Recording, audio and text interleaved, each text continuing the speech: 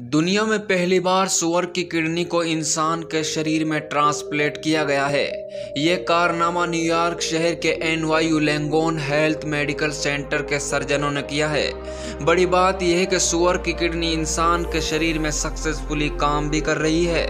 सुअर की किडनी को जिस मरीज़ में लगाया गया, वे एक ब्रेन डेड रोगी था। उसकी दोनों किडनी लगभग खराब हो चुकी थी। मरीज़ से लाइफ सपोर्ट सिस्टम हटाने के लिए उसकी फैमिली से बाकायदा एक्सेप्टेंस लिया गया था। टीम ने सुअर की किडनी को दो से तीन दिन तक मरीज़ के शरीर के बाहर एक बड़ी आर्टरी से जोड़ा हुआ था, जिससे उसे खून और ऑक्सीजन मिलता रहे। तीन दिन बाद सुअर की किडनी को मरीज़ के शरीर में फिट कर दिया गया। हैरान करने वाली बात यह है कि किडनी ने बिना रिजेक्शन के कचरे को छान लिया और पेशाब का प्रोडक्शन किया। इस ट्रांसप्लांटेशन के head surgeon doctor Robert Mont Montgomery ने कहा है कि ट्रांसप्लेटेड किडनी की फंक्शनिंग से जुड़े सभी टेस्ट के रिज़ल्ट बहुत अच्छे आए हैं।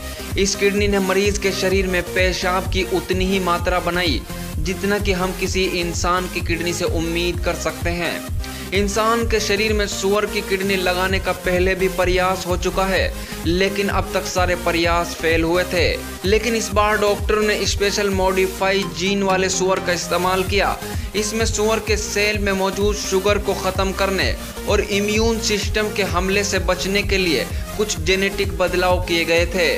डॉक्टर्स का कहना है कि आने वाले दिनों में इंसानी किडनी के बजाय सुअर की किडनी को ही इंसान के शरीर में लगाया जाएगा। तो कैसी लगी आपको ये जानकारी? प्लीज़ एक कमेंट कीजिए, वीडियो को लाइक कीजिए, चैनल को सब्सक्राइब कर लीजिए। Thank you.